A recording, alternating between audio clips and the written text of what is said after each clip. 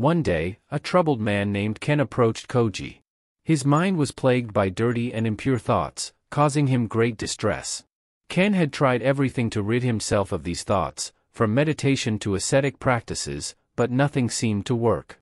Koji listened to Ken's woes and then invited him to sit beneath a towering cherry blossom tree beside a bubbling brook. The fragrance of the blossoms filled the air, and the sound of the water seemed to wash away the worries that burdened Ken's heart. Koji looked at Ken with compassion and spoke softly, I understand your struggle, my friend. Just as these cherry blossoms fall gently from the tree, so do thoughts arise and fall in the garden of the mind. Trying to destroy them is like trying to grasp the wind. Instead, let us try something different. Koji reached down and plucked a cherry blossom from a branch above. He held it out to Ken and said, Look at this blossom. Is it not beautiful?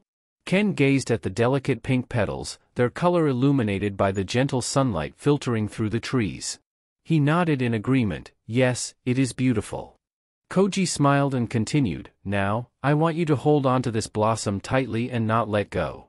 Ken did as instructed, clutching the blossom tightly in his hand. He watched as the once vibrant petals began to wither and lose their luster.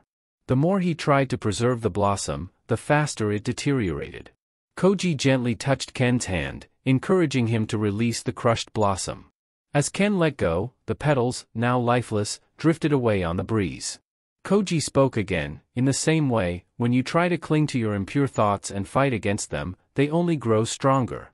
Instead, allow them to arise, acknowledge their presence, and then let them go, like the falling cherry blossom. The more you try to destroy them, the more power they have over you. Embrace them with compassion and release them. Ken understood the wisdom of Koji's words. He began to practice this new approach, allowing his impure thoughts to come and go without judgment.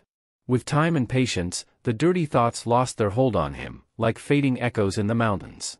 As Ken's mind became clearer and more serene, he thanked Koji for his guidance.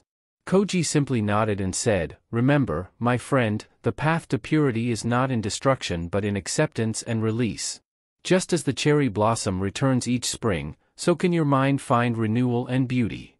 From that day on, Ken continued his journey with a lighter heart, embracing the ebb and flow of thoughts with the wisdom he had learned under the cherry blossom tree, where the secrets of destroying dirty thoughts were discovered through acceptance and letting go.